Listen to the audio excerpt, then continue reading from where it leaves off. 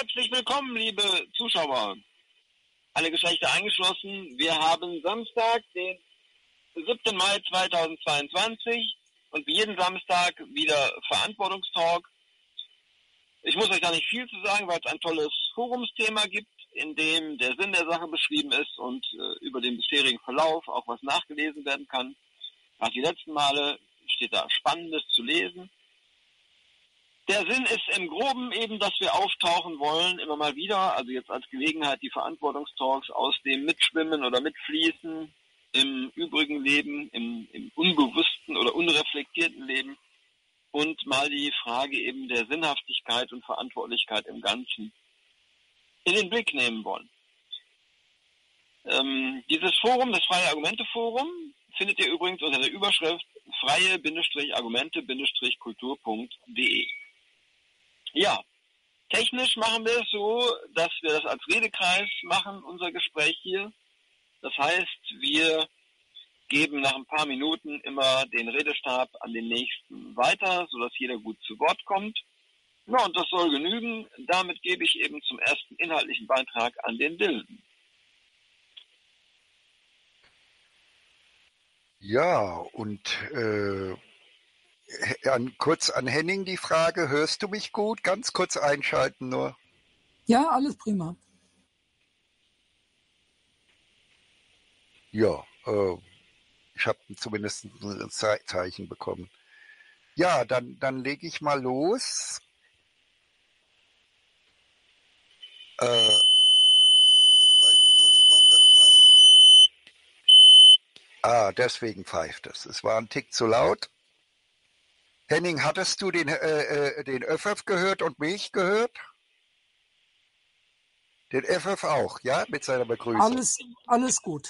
Ja, da gut, dann können wir ja loslegen. Du übrigens, du kannst wie immer an den Rand zur Mitte hin noch rücken, ne? Du weißt ja Bescheid. Genau, da in die Richtung, in die Richtung. Ne? Ja, äh, und ich beginne meinen ersten Beitrag. Ich plädiere ja heute wieder nachdem mein Vorstoß. Du bist für mich sehr leise zu hören, Dill. Ist das so korrekt? Ja, es ist, ich weiß nicht, wie ich es. Ach so, Moment. Jetzt, jetzt hörst du mich etwas besser, denke ich. Ja, jetzt müsste der Öffi mich besser hören. Jetzt ist besser. Ich frage noch mal gerade zurück. War das jetzt, war das jetzt besser? Ja, super.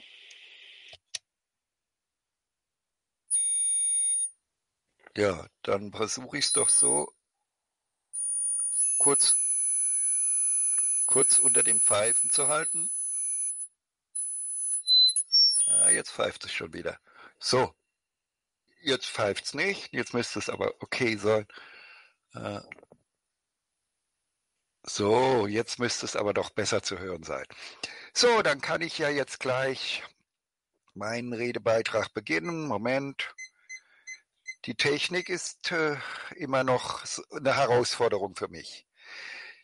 Ja, also, liebe Fernsehzuschauer, ich hatte letztens ja einen gewissen Vorstoß gemacht, sozusagen so in Richtung, äh, wo bin ich Opfer der Gehirnwäsche bestimmter Sparten mit deren vorteilbringenden Irrtümern. Das hat sich herausgestellt, dass es erstmal nicht so auf die ganz große Resonanz gestoßen ist. Also kann mein Anliegen jetzt erstmal nur sein, dass ich mich also wieder so fantasiere äh, als Teil des Wahlbündnisses in ARD und ZDF und sie Ihnen, liebe Wählerinnen, sage, was so toll ist an der GWÖ-GWO-Kombination der, oder Kombi, GWÖ-GWO-Kombi, Gemeinwohlökonomie nach Christian Felber. Und äh, meine Themen heute in meinen Beiträgen sind ja auch Ukraine und Corona. Wie kann die GWÖ, Gemeinwohlökonomie nach Christian Felber und GWO, Gemeinwohlwirtschaftsordnung der ne-, Next Scientists for Future vom Weltrat, wie kann die GWÖ, GWO-Kombi die, äh, wie beendet sie Kriege und Krankheiten? Wie beendet sie Kriegs- und Krankheitsursachen? Ja, also die die, die GWÖ-GWO-Kombi sorgt dafür, dass wir alle ein viel stärkeres Immunsystem bekommen und dass die Waffenhändler ganz anders belohnt werden bis, wie bisher und deswegen von Kriegstreibern, kapitalistischen Kriegstreibern zu gemeinwohlwirtschaftlichen Friedensförderern umgewandelt werden im Sinne von Schwerter zu Pflugscharen. Ne? Aber dafür, da, da muss ich Sie jetzt vertrösten. Das, das werde ich so im Laufe des Abends in meinen Beiträgen erläutern. Ja? Erst einmal fange ich an mit dem Endzustand, den ich Ihnen ich, äh, schildern möchte. Also, stellen Sie sich vor, Sie leben mit 150 Gemeinschaftsmitgliedern, die aus den Hausarzt-Gesundheitsgemeinschaften der, äh, der GWÖ-GWO-Kombi die politisch durchgesetzt wurde, vielleicht sogar von der äh, jetzigen Bundesregierung durchgesetzt wird, die wir hoffentlich bald beraten dürfen, auch wenn jetzt gerade unsere unser wichtigstes Mitglied, unsere Bundesgesundheitsministerin verstorben ist und äh, deswegen bei uns ein bisschen Trauer ist, denn ich hatte immer noch gehofft, mit ihr gemeinsam in ZDF und in ARD auftreten zu können. Sie ist aber immerhin 91 Jahre alt geworden, aber für eine Alternsforscherin natürlich noch nicht, nicht genug. Äh, sie hätte sich bestimmt mehr gewünscht da. Hm? Ähm, und äh, ja, stellen Sie sich vor, Sie leben auf äh, die Hausarztgesundheitsgemeinschaft, in der Sie immer ein- und ausgegangen sind, hat äh, sie angeregt, in eine Gemeinschaft einzuziehen, eine, eine 150er Gemeinschaft, vielleicht mit äh, dem, dem Wohnen in einem Gla riesigen Glasgewächshaus sozusagen äh, und äh, außenrum viele ja, Fruchtbäume und, und ja, vielleicht sogar aber auch noch zusätzliche Gewächshäuser und wo die herrlichsten Früchte, Wildkräuter, Gemüse, Nüsse und was auch immer wachsen und so weiter.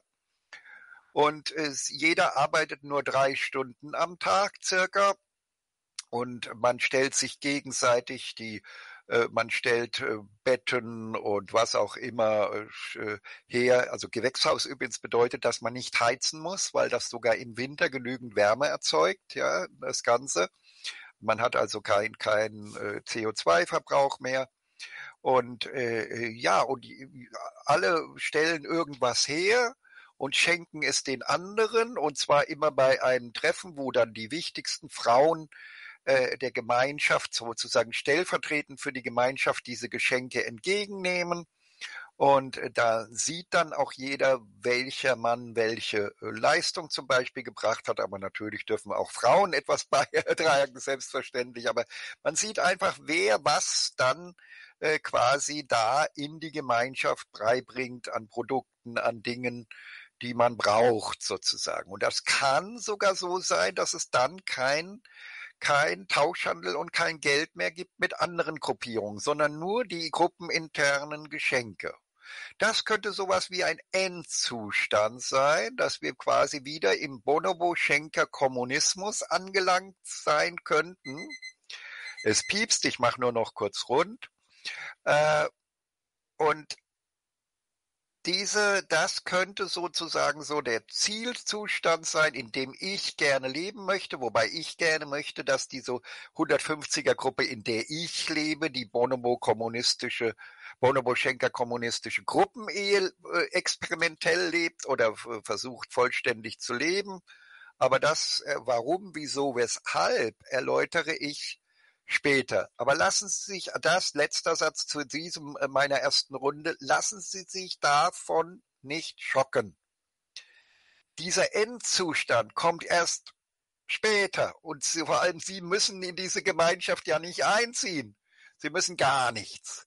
Sie können so leben wie bisher und trotzdem werde ich Ihnen nachher schildern, dass die Gesellschaft so äh, gut verbessert wird durch die GWÖ-GWO-Kombi, dass äh, äh, sie, wir weder Kriege noch erleben werden, noch, äh, äh, noch äh, äh, Krankheiten wie Corona überhaupt auch nur ein Thema sind für uns, weil wir so viel stärkere Immunsysteme haben werden, dass es diese Probleme gar nicht gibt. Aber ich gebe weiter und schalte jetzt um die Technik, um vorzubereiten, dass der Henning seinen ersten Beitrag macht.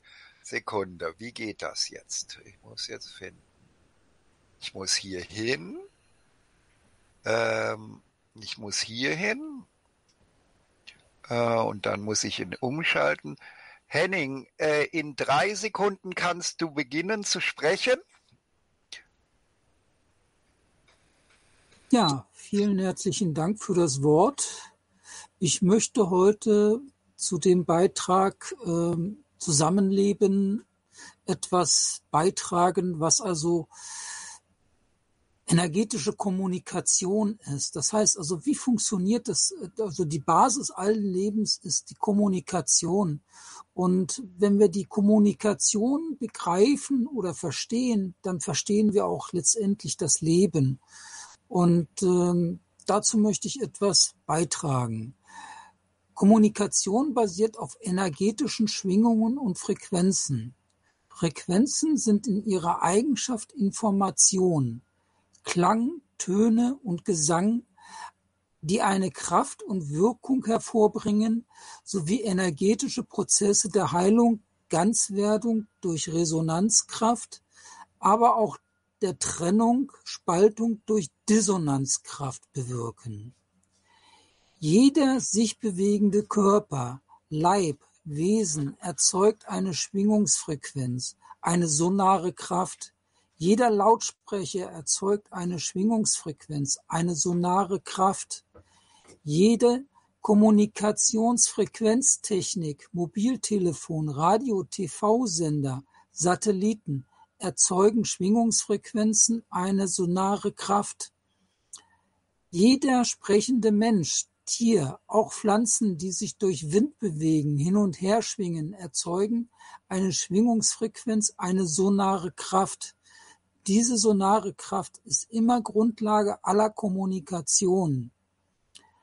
Alle diese sonaren Kräfte unterschiedlichster Frequenzen sind im Erdmagnetfeld gefangen, weil sie immer wieder auf die Erde zurückreflektiert werden vom Erdmagnetfeld und werden zu einer Resonanzkraft. Das heißt, diese Resonanzkraft ist auch letztendlich das morphogenetische Feld, wo alles Wissen, wo alles Gesprochene gespeichert ist. Welcher dieser oben genannten Frequenzen, Resonanzkraft, fördern den lebendigen Wachstum welche dieser oben genannten ständig erzeugten Frequenzen, Resonanzkräfte beeinträchtigen, minimieren den gesunden Wachstum auf der Erde an allen Lebewesen. Alle Frequenzen, die außerhalb der des Leben aufbauenden und heilenden Frequenzen bewirken das Gegenteilige und sind Dissonanzkräfte, die Lebenorganismen formen, rumpieren. Zum Beispiel ein hoher Klang, Frequenz, Ton hat die Kraft, feines Glas zerspringen zu lassen. Diese zerstörerische Kraft ist eine Dissonanzkraft, weil die eigene Schwingung vom Glas alles ist Licht und Frequenz in Disharmonie mit höherem Klang, Frequenz in Wechselwirkung, Resonanz tritt und es kommt zu Korruption, Zersetzung, Trennung, Spaltung am Glas, in dem Moment, wo die Dissonanzkraft größer wird als die Kräfte am Zusammenhalt der Anhaftenden, die das Glas formen. Dissonanzkräfte bewirken die gegenteilige Wirkung der Heilung aus einer sonaren Kraft. Resonanz ist die Reflexion und auch die Bündelung, Verstärkung durch Anhaften der Frequenzen, die in Einklang einer sonaren und reflektierenden Kraft mitschwingen. Diese kraftvolle, dieser kraftvoller werdende, sich aufbauende Effekt der Schwingungsresonanz kann Brückenbauwerke in Schwingungen bringen, bis zu ihrer Selbstzerstörung durch die Dissonanzkraft. Dieser energetische Zusammenbruch der Brücke geschah mit der Dakota-Narrow-Brücke am 7. November neunzehnhundertvierzig im Bezirk Washington, USA.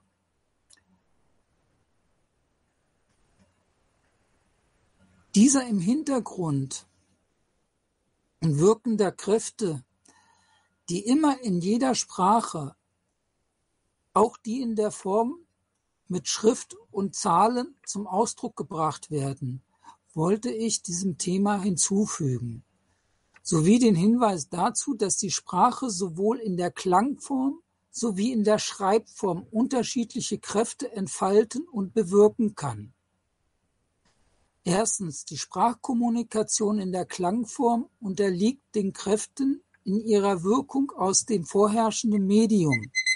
Energetische ja gut, okay, dann gebe ich weiter und fange dann im nächsten nochmal hier an.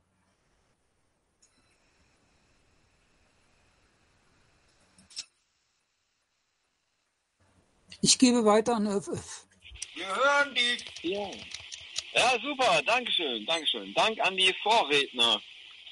Also in meinem Falle habe ich vor, heute den Abend zu nutzen, um auf ein Anliegen einzugehen, was im Forumsthema zum Verantwortungstalk, oder besser gesagt, äh, bei den Wandelgesprächen, ich sehe die Gespräche am Samstag und am Montag, die wir führen, die Talks, sehe ich alles als Wandelgespräche an. Da kann man, jeder kann sich auch von mir aus noch ein paar zusätzliche Namen aussuchen. Aber in der Sache sind es auf jeden Fall in meinen Augen auch äh, die Wandelgespräche und ich kenne nichts Vergleichbares. Und ähm, wir haben sowieso schon immer, aber jetzt auch in der letzten Zeit viel darüber gesprochen, wie ja aussichtsreich dieses, dieses Tun von uns überhaupt so ist, mit den Talks, mit dem Versuch, da die schädliche Entwicklung in der Welt irgendwie verändern zu können, mit allen möglichen Mitteln, die wir uns immer wieder neu ja versuchen auszudenken. Und äh, ja, das war die Frage. Gibt es überhaupt eine Chance? Äh, sind unsere bisherigen Versuche, sind die was wert? Müssen wir nach irgendeinem neuen Hebel suchen? Welcher soll das sein? Sollen wir nur einen nehmen?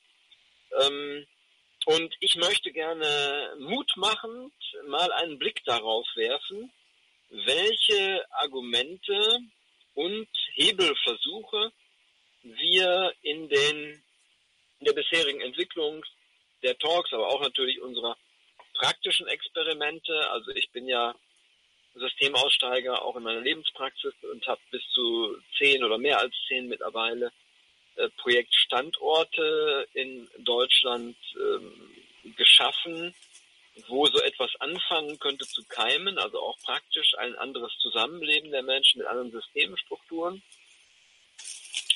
Ja, also wie sieht es aus mit der Wirksamkeit, mit der Bedeutung und Wirksamkeit unserer bisherigen theoretischen und praktischen Schritte, unserer Ideen, unserer Hebelversuche? Ich glaube nämlich, wir können da wirklich guten Mut äh, draus ziehen, wenn wir unseren Blick darauf richten. Und äh, wir müssen einfach, äh, glaube ich, die Kraft und den Mut behalten, da zäh weiter dran zu arbeiten, weil wir bringen Lösungsvorschläge, ohne die es nicht gehen kann, aus logischer Notwendigkeit nicht anders gehen kann. Und das kann ja wirklich, äh, kann einem die Bedeutung dessen so bewusst machen, dass es wirklich auch Mut gibt, dass es wirklich auch trägt bei dieser Art von Engagement. Ich werde dafür etwas vorlesen, was ich auch ins Forum stellen werde. Das heißt, es entgeht keinem und man kann es in aller Ruhe sich auch anschauen.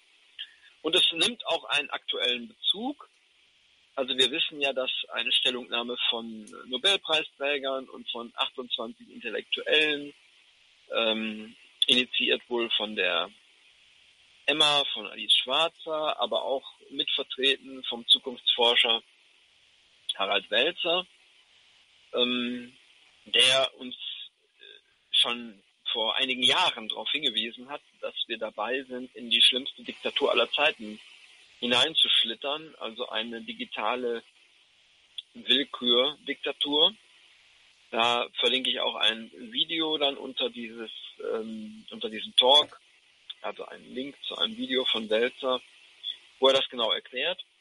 Also die äh, Nobelpreisträger und diese 28 Intellektuellen haben ja ein Stück weit dazu aufgerufen, jetzt im aktuellen Kriegsgeschehen, Ukraine-Krieg, vorsichtig zu sein und nicht sich auf eine Gewaltlogik äh, zu sehr einzulassen, die vielleicht bis zu einem Atomkrieg wegrutschen könnte. Ja, also da setze ich auch ein Stück weit an mit diesem Text, den ich geschrieben habe. Ich fange mal einfach an und äh, wenn es piept, dann setze ich eben später fort.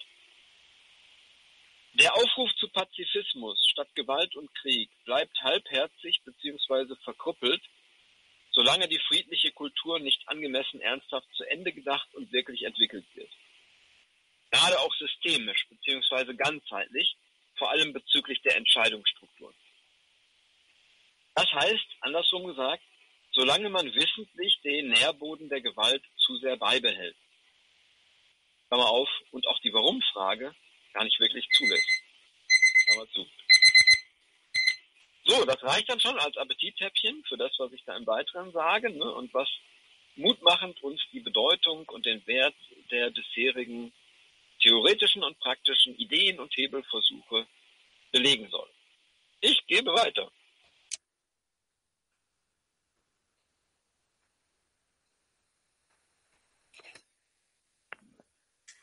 Ja, und jetzt äh, bin ich wieder dran. Ich gucke gerade, ob ich auch wirklich mit der Technik keinen Fehler mache. Der Henning müsste mich hören, der Öffi müsste mich eigentlich auch hören. Gut, dann kann ich ja loslegen.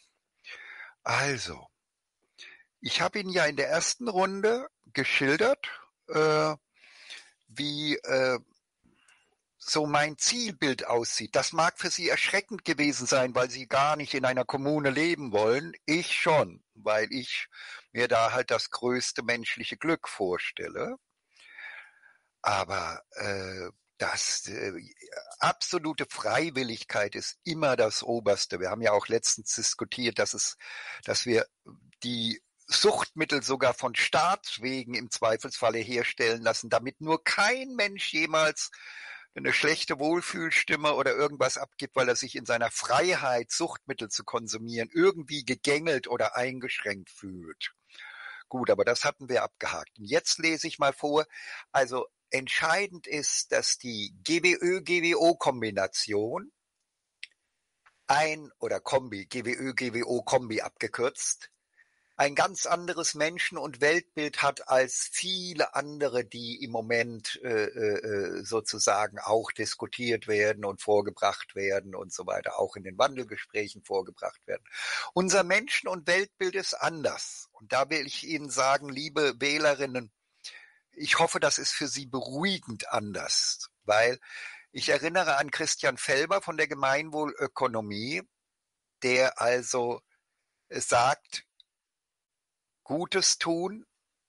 Wenn eine Firma uns Menschen Gutes tut, dann muss sie mit Steuervorteilen belohnt werden, mit Finanzvorteilen. Das heißt also, er sieht auch zumindest mindest als Übergangsform nicht die sofortige Abschaffung von Geld und, äh, äh, und Belohnung und so weiter als ersten Schritt. Felber sagt sogar, er erlaubt, äh, wenn es nach ihm ginge, aber das ist so, so eher so seine persönliche Meinung, das und das, wie, wie bestimmte Versuchspersonengruppen aus natürlich parteiischen Zuschauern abgestimmt haben. Das läuft darauf hinaus, dass die Einkommen bei Felber nur noch schwanken zwischen 1500 Euro im Monat und 30.000 Euro im Monat. Wir halten das natürlich von der GWO für höchst bedenklich, weil dann ja alle, die gewohnt sind, mehr als 30.000 Euro im Monat zu verdienen, fluchtartig Deutschland verlassen würden und ein armes äh, Land ohne fähige Manager, da würde Mercedes nicht mehr von fähigen Managern, sondern von drittklassigen, viertklassigen Managern gemanagt werden und dann wär, würde es ein, eine Massen zu Massenarbeitslosigkeiten in Deutschland kommen. Aber ich wollte damit nur sagen, dass auch Felber das Menschenbild hat, dass es ohne eine gespreizte, vorübergehend zunächst einmal finanzielle Belohnung nicht geht. Und dieses Menschenbild, das sehen wir bei der GWO genauso. Wir äh, sagen nämlich, auch die Bonobo-Frauen entwickeln im Bonobo-Schenker-Kommunismus, in den Bonobo-Schenker-kommunistischen Gruppenehen sogar, entwickeln die Frauen in ihrem Kopf eine Leistungsrangliste gemäß den Geschenken. Ich habe Ihnen ja vorhin gesagt, dass in der von mir vorgestellten Kommune alle Mitglieder ihre Geschenke vor äh, öffentlich vor die entscheidenden, die wichtigen oder bedeutsamen Frauen der Gemeinschaft hinlegen und das vor Augen aller, so dass sich dann die Sympathien und Anerkennung und das Ansehen der schenkenden Person dann wie in so einer Art Leistungsrangliste, wie wir sie ja auch dann in der GWÖ-GWO-Kombi vorschlagen, äh, mit, der, mit unserer Stiftung Warentestisierung, also so, solche Leistungsranglisten, wo Sie sehen können, welcher Arzt, welche Hausarztgesundheitsgemeinschaft wirklich äh, mehr, besser Gesundheit fördern kann als andere und so weiter. Also diese, dieses, also quasi Leistung, äh, wahrnehmen, dass Leistung eine Rolle spielt weiterhin, dass Konkurrenz eine gewisse Rolle spielt, Wettbewerb eine gewisse Rolle spielt, dass also auch die, zum Beispiel die Monomänner, die alles den Frauen und Kindern schenken, was sie an Nahrung finden und so weiter, dass diese natürlich auf eine Bezahlung warten, auch wenn es ein Schenken ist. Es ist aber kein völlig selbstloses Schenken, sondern ein Schenken, das schon irgendwo auch eine Bezahlung in Richtung mehr Anerkennung, mehr Wertschätzung, mehr Beliebtheit, mehr Geliebtheit, mehr etwas größerer Zugang zu den Eizellen der Frauen und so weiter. Also man kann sagen, die Bezahlung der Bonobos ist einfach nur eine andere Währung, aber es ist kein völlig währungsfreier Prozess. Und äh, ich, es piepst, ich mache nur noch kurz rund.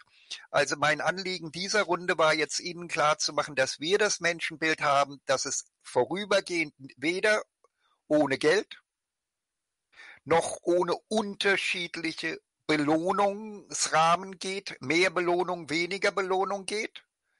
Und bei diesem Menschenbild äh, sozusagen äh, äh, gehen wir äh, kein Risiko ein, denn mit dieser unterschiedlichen Bezahlung hat der Kapitalismus immerhin es geschafft gehabt, äh, dass Deutschland zu den führenden Nationen gehörte. Also wir ändern nicht so, wir machen keine riskanten Experimente. Ja, ja, und in der nächsten Runde erzähle ich weiter. Und wir kommen nachher noch schon zu Krieg und Krankheiten. Ne? Das ist, da kommen, kommen wir nachher dazu. So, jetzt muss ich die Technik wieder ändern. Wie muss ich das machen? Sekunde. Regie. Ja. So. Henning, in, in, in drei Sekunden, äh, nee, warte, ich kann dich schon mal groß machen. Äh, so. Bitte, Henning, in drei Sekunden loslegen. Ja, danke für das Wort. Ich mache weiter mit meinem Vortrag und äh, erkläre jetzt erst einmal den Unterschied zwischen Sprachkommunikation in der Klangform sowie unsere Sprachkommunikation in der Schreibform. Die Sprachkommunikation in der Klangform unterliegt den Kräften in ihrer Wirkung aus dem vorherrschenden Medium. Energetische Änderungen am Medium beeinflussen unser Bewusstsein. Die Medien bestehen immer aus a. elektrisch-magnetisch wirkenden, als durch alles durchdringendes Licht in ungebundener Form, b. der Luft in der Gasform angebundener Lichtformen, c. dem Wasser aus der Gasform Wasser, H und Sauer, also H Sauerstoff und O zu H2O, also Wasser, die chemische Bezeichnung für Wasser, H2O, komprimiert in vier Aggregatzuständen unterschiedlicher Strukturen und Festigkeiten der Dichte. Wasser ist auch ein Informationsspeichermedium. Dr. Emoto mit seinen Bildern in Kristall, äh, kristallisierte Wassertropfen ist ein Synonym dafür. Dann haben wir das Medium Erde, das durch die physische höhere Dichte ein reflektierendes Medium ist. Dann haben wir das Medium Feuer, dem Medium der Dissonanzkräfte mit der zersetzenden und trennenden Kraft, dem Verbrennen. Dann haben wir F, sowie die momentane Stand und Klang der Gestirne in ihrer Bewegung, die eine kraftgebende kraftgebender Einfluss ist und jede Kommunikation und Formgebung sowie Strukturbildung und der Strukturtrennung mit eine beeinflussende Kraft und Wirkung auf alles Leben bewirkt.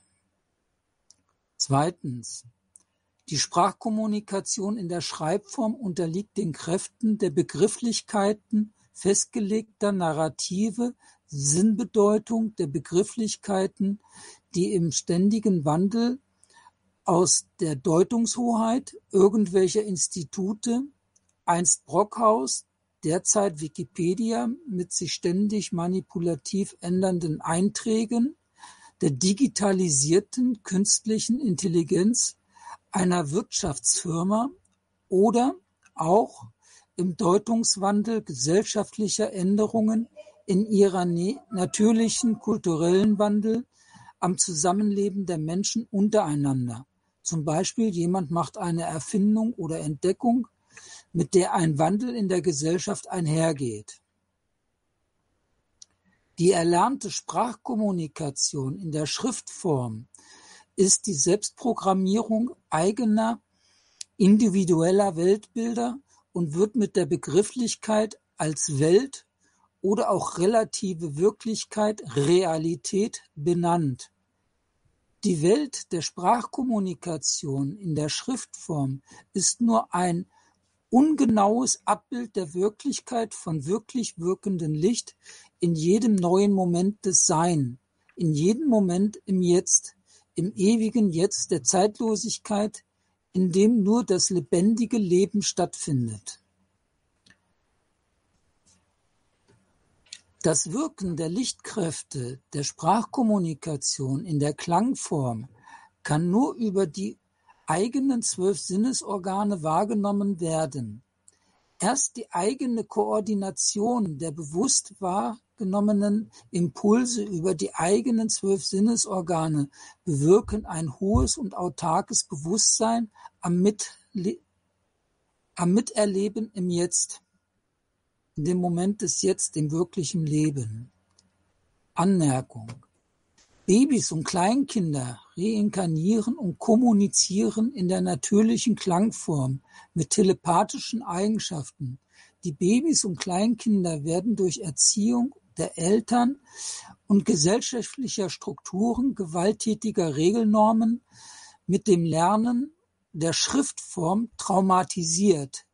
Siehe hierzu Dr. Gabor Mate da gibt es ein sehr schönes Video und er erklärt auch sehr genau, wie ich, ich mache gerade zu Ende, die unangenehme Wahrheit über Krankheiten und Kindertrauma. Und damit gebe ich weiter an FF. Und äh, will erstmal was Formales sagen, was den Zuschauern vielleicht auch auffällt. Wir sind heute Abend noch mehr als sonst in der Form, dass ein bisschen ja die drei Teilnehmer des Gesprächs nebeneinander so einen Faden oder Film an Argumentation abspulen. Das haben wir zum Teil auch anders und ähm, können es auch anders machen. Also der Dylan zum Beispiel überlegt, welche Form der Gesprächsführung würde uns denn am fruchtbarsten voranbringen können und stellt sich das äh, zum Teil auch so vor, dass wir wie am Schachbrett mit diesem Blitzschach äh, so in kurzen Rede- und Gegenreden, ähm, Ping-Pong sozusagen, äh, sehr effektiv vielleicht auch Klärungen herbeiführen könnten. Mir ist ganz wichtig, dass wir hier ein ganz offenes Experimentierfeld haben, also auch formal. Hier kann über alles geredet werden und wir können auch alle möglichen Formen ausprobieren, wie das am besten laufen kann. Ich bin ganz sicher, dass wenn wir das tun, wir auf jeden Fall besser damit fahren, als wenn wir es nicht täten. Und wir werden ganz spannende Ergebnisse dabei auch herausfinden können. Also auch äh, die Effektivität bekommen, die es braucht. Und dazu ähm, erzähle ich ja mit den äh, ja, beeindruckenden Argumenten, die wir in den letzten, in der Vergangenheit und auch in den letzten Monaten hier in den Talks entwickelt haben. Also wie wir damit dastehen, ne? dass das eben, auch wenn wir weitermachen, wenn wir ganz offen experimentieren mit den Talks und mit unseren Hebelversuchen, dann ja, ist es das Beste, was man machen kann und die Zukunftsentwicklung kann eigentlich nicht dran vorbeikommen. Ich gehe aber ein bisschen auch mal ein, äh, so Resonanz und dialogmäßig auf das, was die anderen gesagt haben, damit ihr das zumindest ein bisschen mit drin habt, liebe Zuschauer. Also was der Henning zum Teil so sagt, also ganz spannende Informationen über Lichtstrukturen, über die Beeinflussung der Molekülstruktur des Wassers und so weiter und so fort. Äh, da weiß ich nicht so genau drüber Bescheid. Ich freue mich natürlich, wenn andere da Dinge entdecken, ne? aber das, da weiß ich nicht so genau drüber Bescheid und denke, dass andere Argumente ähm, grundlegender auch, auch den Menschen auf der Straße, die da vielleicht auch sagen, oh, da weiß ich ja gar nichts von, ähm, schon eingängig sein können und gemeinsam ja Weichenstellungen sein können, wodurch wir auf einen tollen, guten Weg, Verantwortungsweg dann kommen können, wo wir dann auch im Endeffekt äh, herausfinden werden, wie es mit all den Lichtstrukturen und dem Wasser und so weiter ist. Ebenso halte ich es für eine spannende Frage. Der Dillen spricht häufig an, gibt es den Zustand des reinen Schenkens und äh, wie ist diese an sich schon sehr liebevoll schenkende Kultur der Bonobos, also wo Dylan und ich einig sind, also das ist schon so sehr eine liebevolle Schenkkultur, äh, dass da keiner gequält wäre ne, durch irgendein Leistungsprinzip oder Entzug und äh, Benachteiligung und sowas. Ne? Also das, da sind wir einig. Aber inwiefern ist es jetzt ein reines Schenken ohne Gegenleistung und inwiefern gibt es doch auch Gegenleistungsdenken? ähm, wo ich ja die Vorstellung des organischen Schenkens habe. Das heißt, äh, nicht wie der Millionär jetzt irgendeiner neuen Freundin gerade mal einen Porsche schenkt, sondern dass wir wie die Zellen im Organismus äh, nicht kleinlich Gegenrechnung machen, sondern einfach nach dem Fluss im Ganzen mitfließen. Dieses zu können, ist die Kunst des organischen Schenkens in meinen Augen. Ne? Aber all das würde sich auch klären, also diese Feinheiten der Interpretation würden sich klären, glaube ich, wenn wir diese Mann auf der Straße verständlichen Grundargumente, ähm, wenn wir die so zäh weiter beibehalten und wenn sie sich irgendwann durchsetzen, wenn sie irgendwann überhaupt erstmal angeguckt werden, diskutiert werden und sich dann aus meiner Sicht mit logischer Notwendigkeit und zwingender Logik durchsetzen werden. So, und da mache ich weiter. Ich hatte gesagt, ähm, vorgelesen, dass ähm, Aufrufe zu Pazifismus, wie jetzt, wie jetzt beim Ukraine-Krieg, dass das äh, verkrüppelt ist, äh, solange man nicht wirklich dann überlegt, was die Friedenskultur ausmachen würde. Also zu sagen, Frieden schaffen ohne Waffen, da muss man dann aber wirklich auch nicht auf den nächsten Gewaltausbruch warten, sondern diese Friedenskultur so richtig gründlich entwickeln, erdenken und erschaffen. So. Aber die Leute beschäftigen sich damit viel zu wenig und auch die Frage, warum sie sich damit nicht gründlich genug beschäftigen, äh, wird eigentlich gar nicht richtig. Ich lese weiter vor. Wenn, was von vielen Leuten behauptet wird, Argumente statt Fäuste als eine Definition für Friedenskultur sogar auch übrigens Rechtsstaatlichkeit, ne? wo ein Gewaltmonopol geschaffen wird, das vom Staat, damit auf der Straße nicht mehr die Gewalt, sondern vernünftiges Argumentieren gelten würde. Ja, ich, ich lese diesen kleinen Abschnitt noch äh, zu Ende. Dankeschön für das Bieten. Also wenn was von vielen Leuten behauptet wird, Argumente statt Fäuste als eine Definition für Friedenskultur und auch Rechtsstaatlichkeit angesehen werden kann, wobei Fäuste dabei als Synonym, Synonym für jede Form nicht argumentativer Durchsetzung aufgefasst werden kann, also wenn das so ist, wie sehr ist es dann erschreckend, dass wir außer uns paar Hansels hier, ähm, die wir uns jetzt nicht gerade äh, in, in, in Bedeutungswahnsinn überheblich äh, vorkommen wollen, aber wie erschreckend ist es, dass außer uns gar keine anderen Menschen gefunden werden können, die ernstnehmbar stärkste Argumente einbringen, wie, und ich nenne das erste nur noch, wenigstens eine erste ernstnehmbare freie Argumentekulturplattform zu erschaffen, wo alle Argumente sichtbar werden können, auch gemäß dem schönen Ideal des Beutelsbacher Konsenses, und wo sie nach Argumentequalität beurteilt werden sollen statt Korruption. Und ich betone dazu, einschließlich, wodurch wir spätestens wohl ein sehr auffälliges Alleinstellungsmerkmal bekommen, einschließlich einem Konzept für Methoden und Sicherungsmaßnahmen, die ein überall drohendes Wegschieben in Unsichtbarkeit oder noch schlimmer, ein plattgehauen werden wenn die Plattform zu unangenehm sichtbar würde durch eingreifende Korruptionsmächte. Also wir, es braucht ein Konzept für Methoden und Sicherungsmaßnahmen, um das effektiv genug verhindern zu können. Und da weiß ich nichts, auch, auch andere Versuche, die es manchmal gibt, wo Leute sagen, wir machen hier freie Argumentekultur oder solche Plattformen. Ich weiß nichts, wo wirklich ernsthaft dann so ein Konzept für Methoden und Sicherungsmaßnahmen auch mit dabei ist. Okay, damit gebe ich jetzt weiter und mache beim nächsten Mal.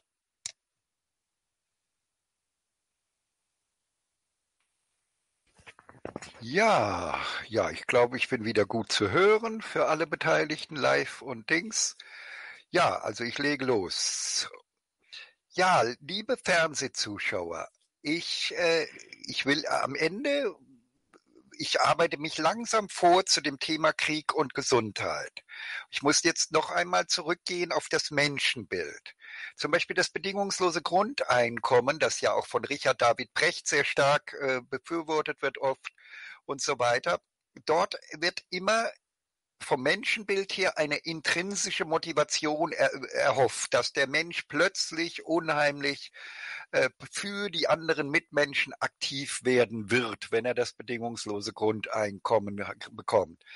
Andere haben wiederum die Hoffnung, dass wenn sie Geld abschaffen und damit also die Bezahlungsspreizung oder die Belohnungsspreizung, also sozusagen die Unterschiedlichkeit von Belohnungen wegnehmen und damit sowas wie Leistung, Wettbewerb und Konkurrenz äh, völlig aus den äh, biologischen Sozietäten versuchen heraus, also den Säugetiersozietäten, bei denen es sich ja um äh, bei uns handelt, versucht rauszunehmen dass da erhofft man, dass die intrinsische Motivation, wie man sie bei Kleinkindern, bei Kindern findet, von Erwachsenen noch tatsächlich stattfinden würde. Aber in Wirklichkeit wird es wahrscheinlich aus unserem Menschenbild genau umgedreht laufen, nämlich dass die Erwachsenen dann in der, in dem Bereich der Beschäftigung und der Arbeit, wo vielleicht nicht die, äh, nicht sehr viele der gewünschten oder interessanten Liebespartner sind, dass dort eher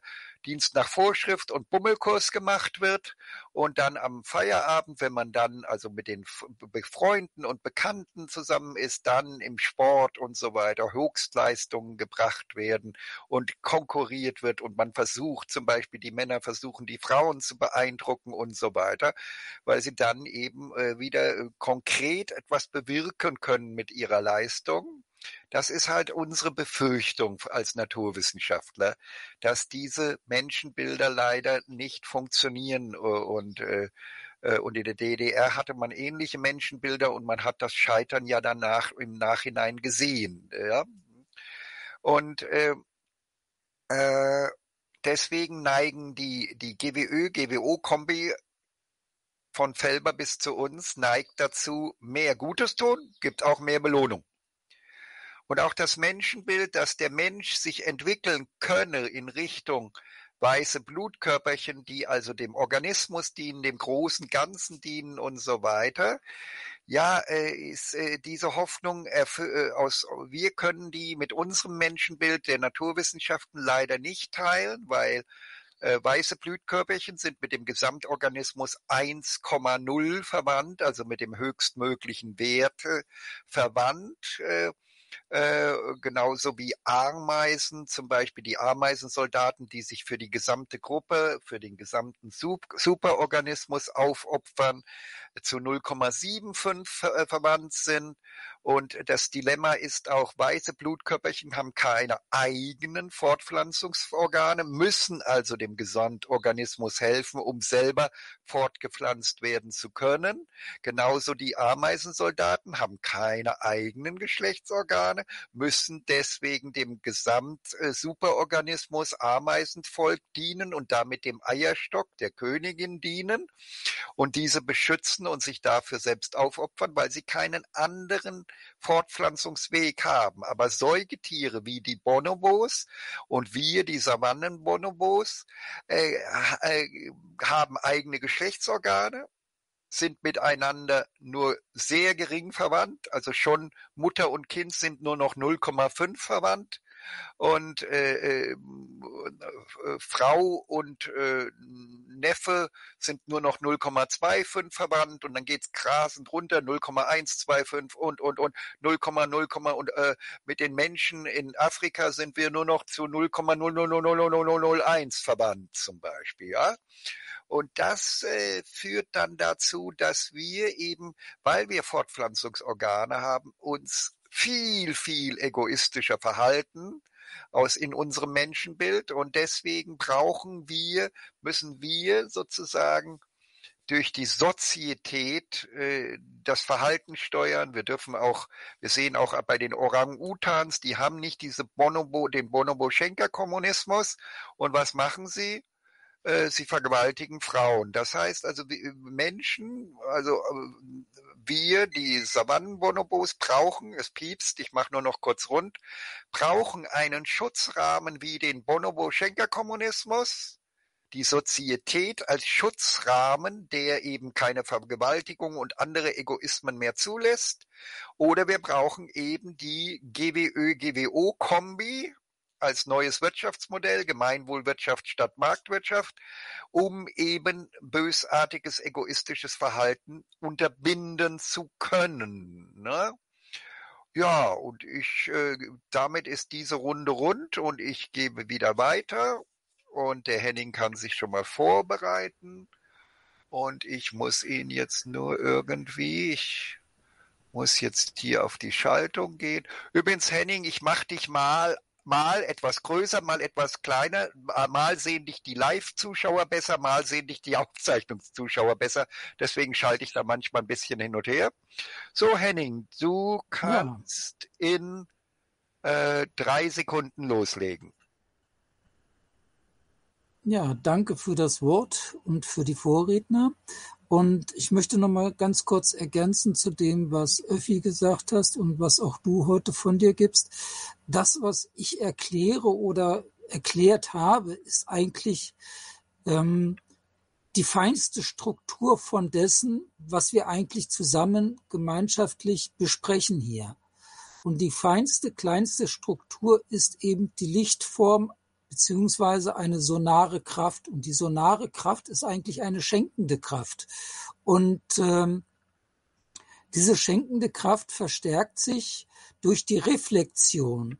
Und die Reflexion kann sowohl als eine Wachstumskraft, also eine lebensaufbauende Kraft auftreten, sowie auch in eine Dissonanzkraft, also eine zerstörende Kraft auftreten, was dann wieder Krankheiten hervorruft, beziehungsweise auch ähm, Zerstörungsprozesse wie den Einsturz der Tacoma-Brücke in Washington, USA. Ähm, das sind eigentlich alles Phänomene, die auf kleinster, also auf kleinster Ebene der, der, der, der kleinsten Lichtform wirkenden Kräfte basiert. Und um diese Zusammenhänge zu äh, begreifen, wie Lichtformen miteinander vor, äh, wirken, ist die Basis, die Grundform, die, die, die Kommunikation der Lichtkräfte untereinander. Also quasi so, wie sich Babys unterhalten, die eigentlich noch gar nicht sprechen, so wie wir in unserer Sprach- oder Schriftform. Und dafür denke ich, ist es wichtig, dass wir Menschen auch erst einmal unterscheiden, in welcher Form wir überhaupt kommunizieren. Ob wir über die Klangform kommunizieren, über unsere zwölf Sinnesorgane, die Wahrnehmung im Jetzt überhaupt leben im Jetzt oder ob wir irgendwelche Gedankenkonstrukte vergangener Zeiten ähm, in einer Schriftform oder ähm, aus Schrift äh, fixierten Matrix uns äh, weiter dran festhalten wollen oder ob wir wieder in das Leben oder das lebendige Leben im Jetzt eintauchen wollen, in der wirklichen Wahrnehmung von wirklich wirkendem Licht. Und dieses zu unterscheiden, dem unterliegen wir halt gewissen Kräften, die ähm, Licht sind, beziehungsweise Tag und Nacht aus Licht machen. Das ist also die, der 24-Stunden-Tag und Nacht, wo wir also sechs Stunden in der Nacht schlafen, ein minderes Bewusstsein haben. Oder im, äh, im 365 Jahres äh, Tagesrhythmus in dem einem Jahr wir drei Monate Winter haben, wo also die dunkle Zeit des Jahres ist wo wir auch in der Melancholie oder auch in, in, in, in bewusst, minderen Bewusstseinszuständen sind. Und genauso wie in diesen zwei Ebenen gibt es noch die dritte Ebene, wo sich die Erde mit der Sonne durch den Raum bewegt, einmal zum, zur Zentralsonne hin, wo wir also mehr Licht haben von der Zentralsonne, wo wir Nacht haben von der Zentralsonne. Und die Nacht dauert äh, von der Zentralsonne, wo unser Bewusstsein etwas gemindert ist, 6000 Jahre. Und die 6000 Jahre sind jetzt vorbei, vorüber, die gehen vorüber. Das heißt also, die Kraft der, äh, der sonaren Sonne, also der zentralen Sonne, ähm, gibt uns wieder mehr Informationen, gibt uns mehr, mehr Licht, mehr, mehr Kraft zum Leben.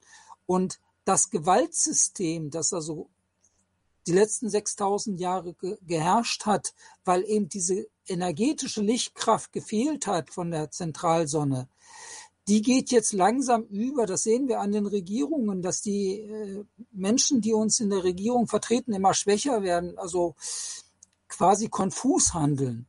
Und dieses, äh, diese Kommunikation der Verträge, die, die sich auflösen, in wieder in die Kommunikation der Klangform über die Wahrnehmung, die, die, die aktuelle Wahrnehmung im Jetzt über unsere zwölf Sinnesorgane, dass wir wieder bewusster werden. Das ist dieser Wandel, den wir derzeit erleben dürfen. Und der ist wunderbar, weil er wird in einem Paradies enden. und ähm, weil das Licht, das also auf die Erde kommt, kraftvoller wird und ähm, was dem noch entgegensteht oder was, was die Gewaltherrschaft momentan noch verhindert oder versucht zu verhindern, ist ähm, dieses energetische Prinzip von Nehmen und Geben. Das energetische Prinzip des Nehmens, wo wir also momentan alles nehmen und es dann verkaufen, wie es die Wirtschaft macht, ähm, wandelt sich in ein Prinzip des, des Schenkens, in das negative Energie, also in, in die energetisch Minus, was also das kraftvolle Handeln der autarken Menschlichkeit ist.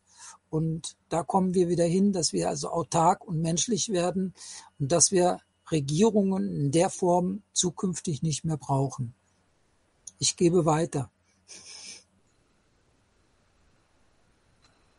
So, und wenn ich den Öff Öff höre, mache ich mein Bild weg. Ansonsten gibt es noch technische Probleme. Ja, der hört, der sitzt schon in Lauerstimme. Ja, man hört mich, okay. Gut, äh, dann sage ich Dankeschön den Vorrednern wieder. Und ich glaube, es, es ist immer spannend, eben wirklich auch zu gucken. Also wir stellen uns jetzt vor, wir hätten ja auch viele Zuschauer, ähm, ob im Livestream oder das ARD und ZDF endlich anfangen würden, äh, statt verblödender Unterhaltung oder anpassungsförderlicher Unterhaltung äh, oder gar Fehlinformation äh, anfangen würde, Alternativideen und Lösungsvorschläge zu bringen. Also egal ob Livestream oder dann äh, die, die fantasierte ARD-ZDF-Situation. Wir stellen uns ja vor, es gibt viele Zuschauer. Und ich glaube, dass es wirklich äh, sehr nützlich sein kann, da auch den Leuten, ja, die Reaktion dieser Leute zu sich anzuschauen oder sich zu fragen, wie werden die mit dem einen oder anderen zurechtkommen können. Und äh, also ich finde es ganz wichtig, wie gesagt, alle Ideen, die wir hier so äußern, äh, dass Menschen da überhaupt in der Richtung denken, ist toll. Aber was sind die Weichenstellungen, die am ehesten ja, den Umschwung bringen könnten? Oder wo es auf jeden Fall gar nicht dran vorbeigehen kann? Und was auch der Mann auf der Straße so wahrnehmen kann, wenn er überhaupt auch nur sich damit beschäftigt und ohne jetzt äh, hingehen zu müssen und äh, erstmal ein Studium machen zu müssen oder äh, irgendwelche geheimen äh, Erkenntnisquellen äh, aufschließen zu müssen. Nee, wenn er einfach nur bereit ist, da vernünftig mit drüber nachzudenken, inwiefern kann er dann feststellen, da geht die Zukunftsentwicklung nicht dran vorbei. Und da hatte ich gesagt, wenn wir Pazifismus wollen statt Waffenlogik wie im Ukraine-Krieg, dann müssen wir die Friedenslogik endlich mal gründlich auch durchdenken. Und erschreckend ist, dass es außer uns scheinbar kaum andere Menschen gibt, die einige stärkste Argumente jetzt wirklich einbringen würden in die Entwicklung.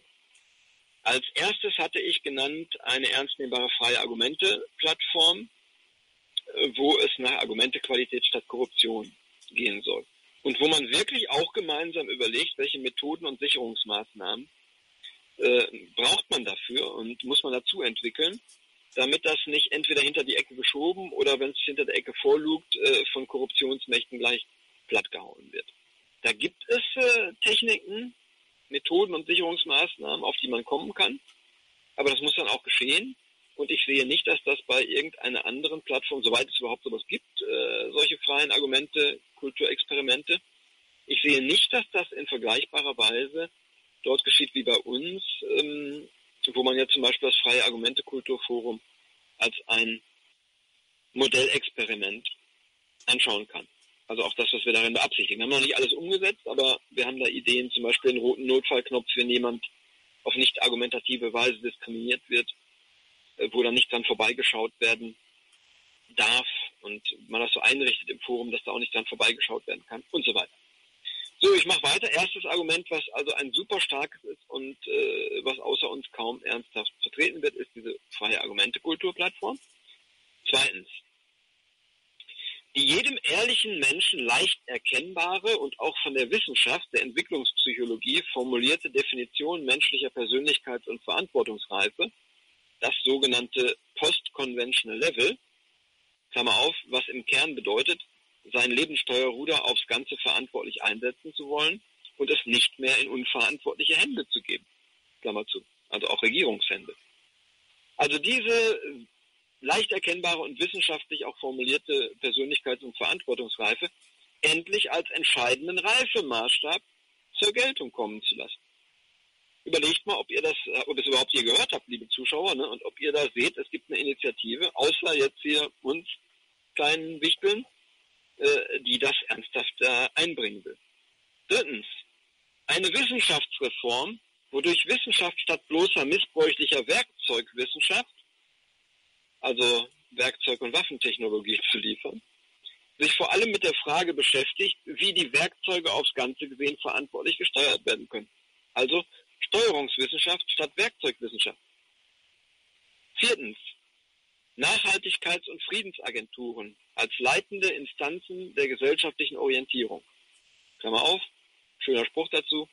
Wir haben Arbeitsagenturen und Kriegsministerien, aber wir haben keine Nachhaltigkeits- und Friedensagenturen. Das heißt, für die wichtigsten gesellschaftlichen Aufgaben haben wir keine Organisationszentralen. Klammer zu. Fünftens, die Vorstellung echter Demokratie im Sinne, dass die Stimmen aller betroffenen Menschen ich höre das Bieben, Dankeschön, ich mache da den Punkt noch rund, ist nur ein Satz.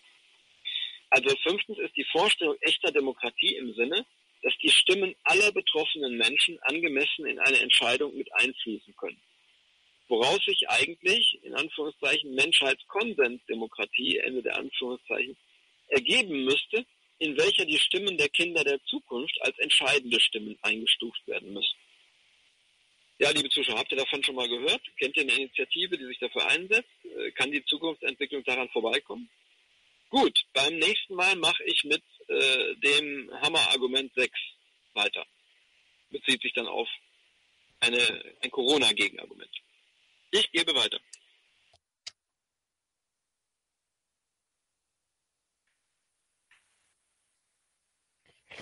So, ja, Jetzt müssten alle mich wieder hören. Sieht gut aus. Ja. Und ich gehe auch auf das Kriegsthema jetzt ein. Ich habe ja versprochen, dass ich Krieg und Krankheit erklären werde. Und zwar hat, ich zitiere jetzt mal aus Wikipedia, der sogenannt weltweit wichtigste Denker, in seinem inspirierendsten wissenschaftlichen Werk aller Zeiten, und ich kann das nur so bestätigen, das hat mein Leben auch total verändert. Da hat er auf drei Seiten alles geschrieben, was wichtig ist zu Krieg und zur Marktwirtschaft und GWÖ und GWO äh, äh, Kombi. Wir hätten seitdem eigentlich schon eine nicht mehr kapitalistische Gesellschaft äh, aufbauen können seit circa 180 und dann hätten wir den heutigen Krieg, zum Beispiel Ukraine, der wäre wahrscheinlich gar nicht mehr gekommen. Warum? Was, was hat er entdeckt? Professor Dawkins hat also entdeckt, der, erstmal geht es um den Rosenkrieg, den Krieg im Kleinen. Ja, er hat entdeckt, dass Rechtsanwälte genau dann mehr Geld verdienen können, wenn ohne dass es ihnen bewusst ist, sie vorteilbringende Irrtümer ihres Berufsstandes anwenden. Also ich zeige jetzt mal das Schaubild hier gerade. Ja, ähm, hier, hier ist der Rechtsanwalt, der sich irrt. Hier ist der Anwalt, der sich nicht irrt und sagt, ja, wenn ihr euch friedlich scheiden wollt, ja, dann mache ich euch eine friedliche Scheidung. Aber hier ist der sich irrende Rechtsanwalt.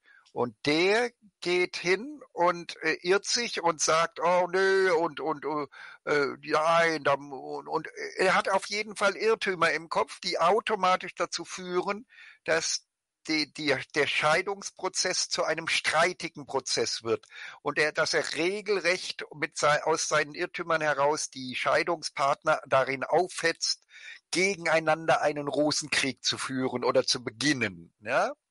Denn dann verdient der Anwalt am Ende mehr. Und das können wir direkt übertragen auf den Krieg im Großen. Wir hatten also hier, hatten wir den ersten Früharzt und Frühhändler, der Wahrheiten erzählt hat. Der ist aber vom Aussterben bedroht, hier links. Äh, und der, äh, der Frühhändler und Früharzt, also wir sprechen von der Zeit nach der Erfindung des Tauschhandels. Und die, das ist der Zeitpunkt, an dem alles beginnt, alles Schreckliche beginnt, nämlich der Kapitalismus. Ne? Und hier dieser Früharzt und Frühhändler, der irrt sich und er erzählt eine Geschichte, die er durch vielleicht durch einen Übersetzungsfehler erfunden hat. Das ist quasi die Urszene des Ganzen sozusagen.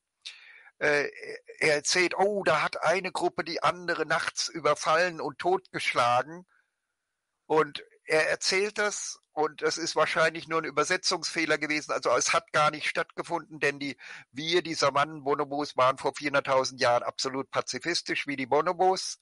Und aber diese Geschichte hat in den Savannen-Bonobos, also in unseren Vorfahren, vor 400, 300, 200.000 Jahren Ängste ausgelöst. Wir haben, unsere Vorfahren haben äh, äh, ganz viele seiner Steinäxte ihm abgekauft.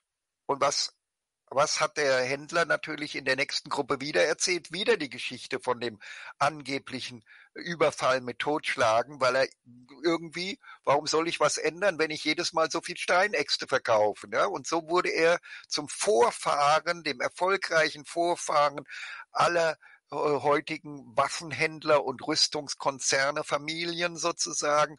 Und dann wurde das auch seine vorteilbringenden Irrtümer wurden dann auch noch an den Uni Akademien der Welt, den Akademien gelehrt und so weiter.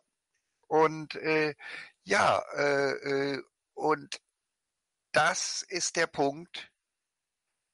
Wir bei der GWÖ-GWO-Kombi sagen, ja, wie hätten wir jetzt, wie können wir das verhindern, diese Negativentwicklung hin zur Kriegstreiberei umdrehen in die Friedenstreiberei?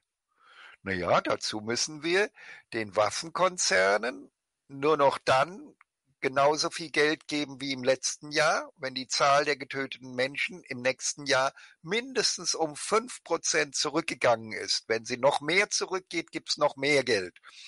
Sodass wir dann die, die Waffenkonzerne sich umwandeln in Friedensarbeiterschwärme entsendende äh, äh, äh Firmen, die nach ja nach äh, 20 Jahren oder früher sich umwandeln in zivile Kettenfahrzeughersteller, Baufahrzeugehersteller und so weiter und nur noch defensive Abwehrraketen äh, produzieren. Es piepst, ich mache nur noch kurz rund.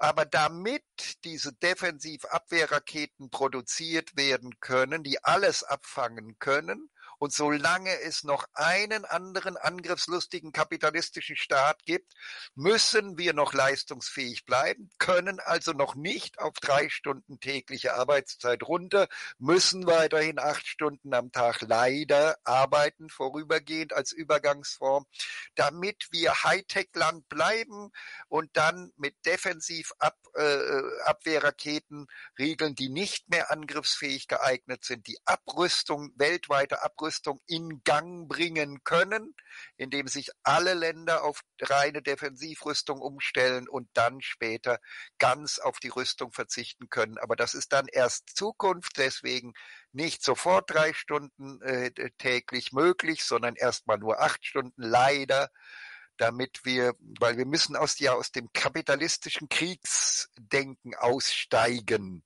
Ja, und ich hoffe, es ist deutlich geworden, dass dann ja diese vorteilbringenden Irrtümer, nämlich dass diese kriegstreiberischen Irrtümer, dass die alle verschwinden, wenn der Bezahlungsschlüssel sich ändert, weil man kein Geld mehr verdient mit Kriegstreiberei, sondern nur noch Geld verdient mit Friedenstreiberei.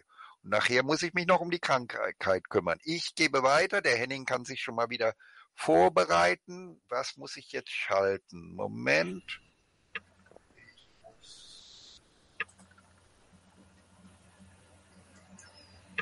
Äh, Henning, in drei Sekunden bitte loslegen.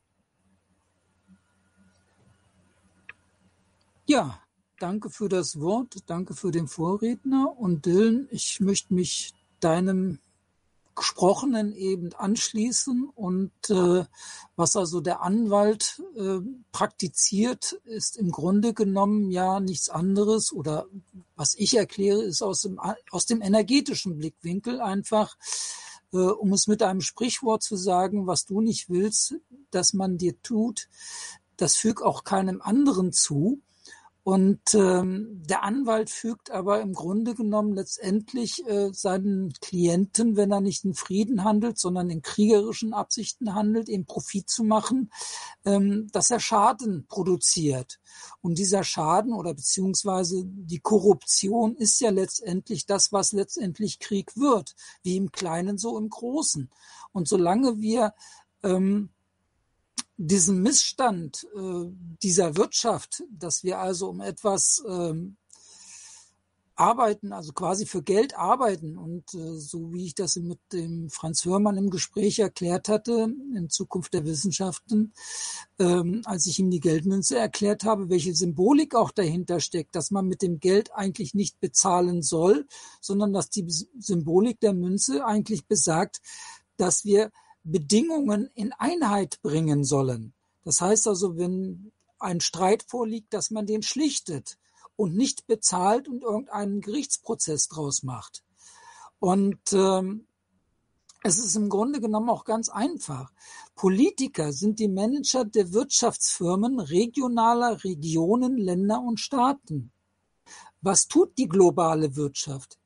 Ressourcen wie Mineralien, Öl, Gas, Kohle, Metalle, Gold, Diamanten, biologisches Leben und pflanzliche Ernten der Erde, die der physisch lebendigen Erde entnommen werden und verkauft werden.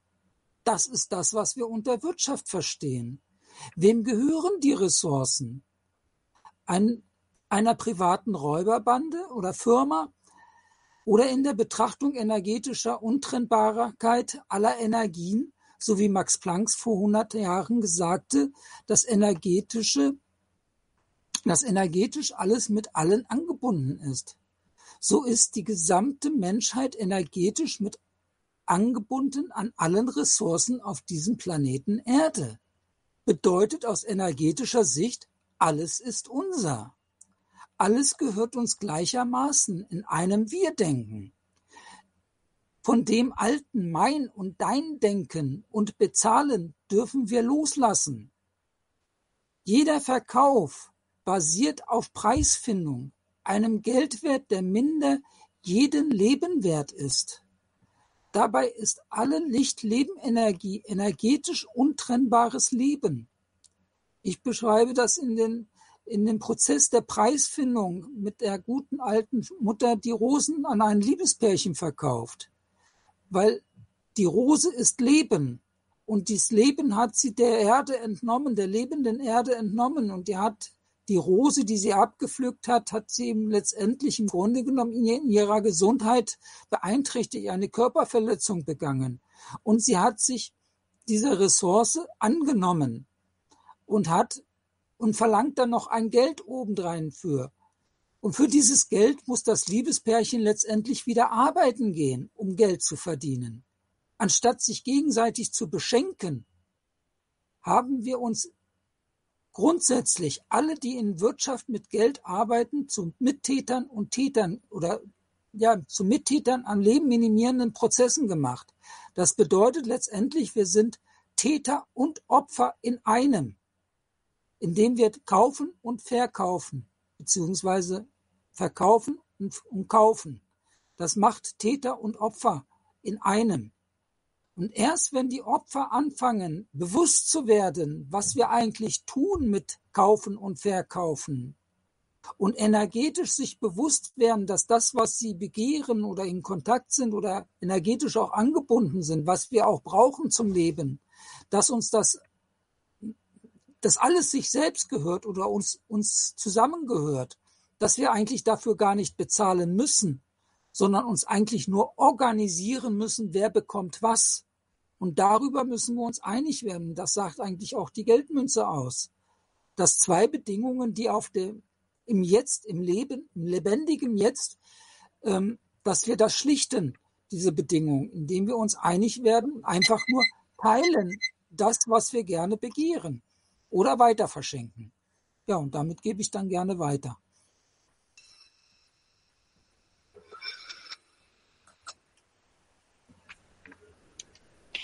Wir hören.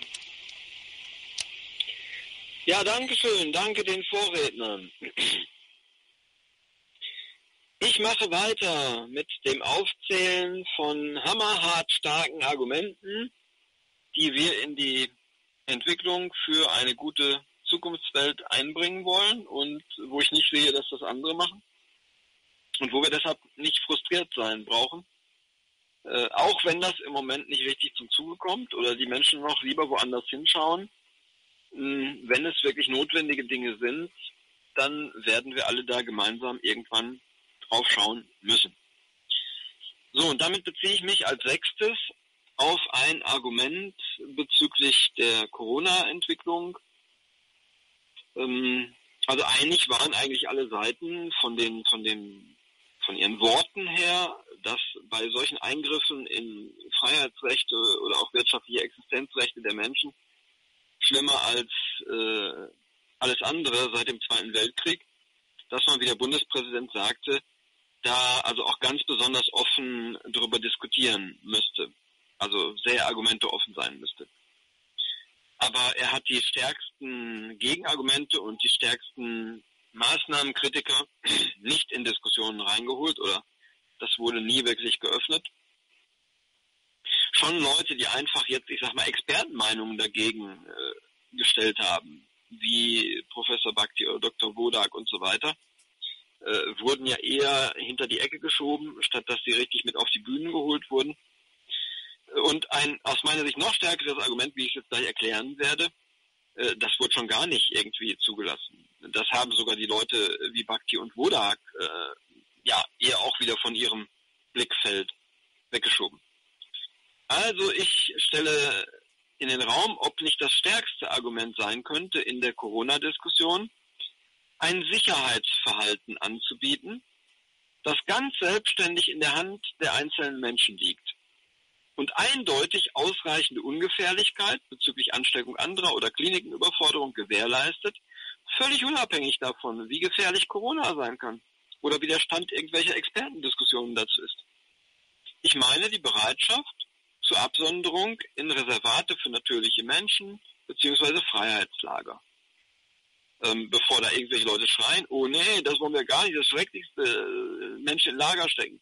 Ich meine nicht sowas. Ich meine gemeinsam für alle Seiten akzeptable und erstrebenswerte vielleicht Entwicklungen, was ja von Alternativaktivisten seit Ewigkeiten unter der Bezeichnung Kommune als angestrebt oder anstrebenswert dargestellt wurde. Aus vielen Gründen übrigens, auch völlig unabhängig von Corona, besonders nämlich für die Entwicklung verantwortlicher Entscheidungsstrukturen, wo man nicht mehr unter der Knute irgendwelcher Herrscher ist, sondern in der Gruppe sich frei die eigenen Entscheidungsstrukturen erschaffen kann. Okay, das war Argument 6. Ne? Wer bringt das ein? Überlegt mal, liebe Zuschauer. Wie stark ist das Argument? Siebtens, der Umgang mit dem Ukraine-Krieg, und ich weite es aus, allgemein mit Kriegen und Gewalt. Ich finde, das, was da um uns herum im Moment geschieht, ist, ist haarsträubend, auch in der Offensichtlichkeit, wie es sich entlarvt. Denn das, was da geschieht, erweist sich aus meiner Sicht als himmelschreiend unstimmig, selbstwidersprüchlich, heuchlerisch und verlogen, wenn man sich deutlich macht, dass man der Ukraine, wo manches bezüglich Demokratie und Friedenskultur zum Teil doch recht durchwachsen gelaufen ist und läuft, ne, kann man ja genauer hinschauen, dass man der Ukraine massiv militärisch hilft, auch durch Lieferung schwerer Waffen, extrem effektiver Geheimdienstinformationen und so weiter, während man an anderer Stelle der Welt wichtigste Demokratiemodellentwicklungen wegschauend abschlachten lässt. Wobei ich ganz besonders an das Rojava-Experiment der Kurden denke. Und jetzt wieder, liebe Zuschauer, wo bzw. von wem wird das überhaupt diskutierbar gemacht oder in angemessenem Ausmaß? Ne? Habt ihr was mitgekriegt? Kennt ihr was? Achtens, die Wohlfühlstimme und äh, der Rahmen, den auch Dillen ja gerne als äh, GWO, Gemeinwohlorientierte Wirtschaftsordnung, darstellt. Dieses wirtschaftliche Reformkonzept halte ich für ein hammerhart starkes Argument, wo nämlich alle Menschen sozusagen als äh, ökonomische Basisdemokratie ständig durch so eine Wohlfühlstimme ihr Wohlgefühl messbar machen können und wo die Belohnung für Ärzte, Lebensmittelhändler und so weiter an diesem Wohlgefühl orientiert wird, statt dass weiterhin Profit auf Menschen schädigende und leidenlassende Weise geschieht. Zum Beispiel durch vermeidbare Dauerbehandlung, wo der Arzt dann gut dran verdient. Ich habe das Piepen gehört, Dankeschön. Mach eben rund. Also durch vermeidbare Dauerbehandlung oder durch Verkauf überzuckerter Nahrung und was weiß ich alles so. Ne? Äh, Dylan hat ja schon betont, äh, es soll keinem genommen werden, aber durch die Wohlfühlstimme würde das Geschehen für alle erkennbarer und äh, man könnte sich danach richten. Auch die, die Menschen ihrer Freiheit könnten es wahrnehmen und könnten sich danach richten. Ne? Dylan hatte ja als ein anderes Beispiel hier im Gespräch auch die Waffenhändler genannt und hatte gemeint, ja, man kann doch mal schauen, ob sie äh, die Toten in der Welt durch Kriege und Gewalt verringern und könnte danach sich richten mit den Belohnungen für die Waffenhändler, statt dass sie eben Profit machen können durch verstärktes Morden und Töten und Leid. Ja, haltet ihr das für einen schwer nachvollziehbaren Gedanken, liebe Zuschauer? Ähm, wo wird dieser Gedanke zugelassen? Also Dylan und ich werden da äh, überall abblitzen gelassen, sogar wo Leute sagen, ja, ja, eigentlich habt ihr recht, man müsste wenigstens mal unbedingt so ein lokales Modellexperiment zulassen oder auch mit aufbauen, damit man schauen kann, ob das jetzt wirklich bahnbrechend anders funktionieren kann. Ne? Äh, wir werden abblitzen gelassen ne? und liebe Zuschauer, wisst ihr, wo diese Gedanken sonst eben auf den Tisch kommen oder äh, wer sich da angemessen für einsetzt? Wenn ja, sagt uns auch mal Bescheid. Also bei jedem der Argumente, die ich jetzt nenne, sagt uns bitte mal Bescheid, ob ihr da wisst, so etwas wird irgendwo vertreten oder es wird sich dafür eingesetzt. Alles klar, ich gebe erstmal wieder weiter an den Dill.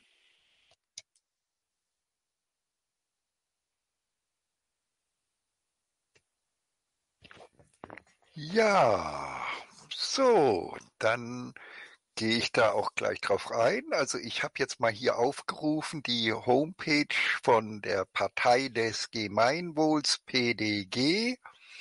Äh, und äh, weil ich bin ja Ihnen, liebe Zuschauer, noch schuldig, also nachdem jetzt der Öffi und ich ja gemeinsam nochmal, er auch nochmal erklärt hat, wie das gehen soll mit der Kriegsabschaffung, dass also die kriegstreiberischen Gedanken aussterben, weil die Waffenhändler sozusagen den Leuten sagen werden, ja, äh, äh, da haben wir euch früher zu viel kriegstreiberische Gedanken beigebracht und die werden dann über Pazifismus sprechen und über die Möglichkeit, friedlich miteinander zu leben und so weiter.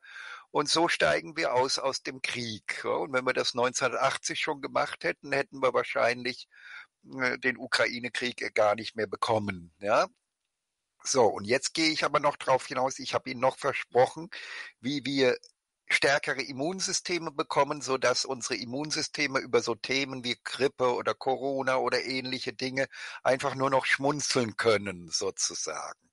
Also, ich lese mal vor.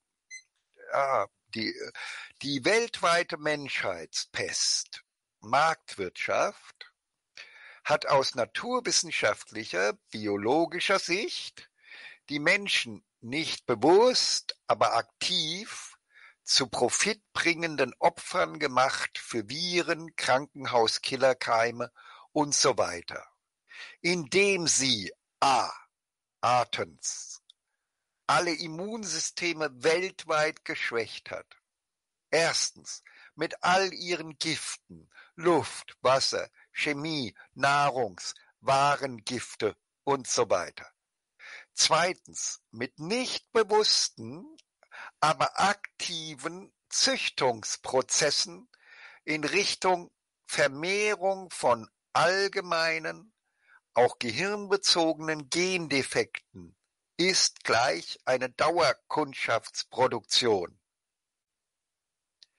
Drittens mit erfolgreicher Züchtung speziell in Richtung gendefekter Immunsysteme ist gleich Dauerkundschaftsproduktion. Ja. Und dann B. Hochgefährliche Killerviren beziehungsweise antibiotikaresistente beziehungsweise multiresistente Killerkeime nicht bewusst, aber aktiv selber hochgezüchtet hat. Also ich muss den Satz nochmal ganz machen. Also die, die weltweite Menschheitspest Marktwirtschaft hat also uns alle zu profitbringenden Opfer, Opfern gemacht für Viren, Krankenhaus, Killerkeime und so weiter, indem sie hochgefährliche Killerviren, zum Beispiel antibiotikaresistente beziehungsweise multiresistente Killerkeime, nicht bewusst, aber aktiv selber hochgezüchtet hat.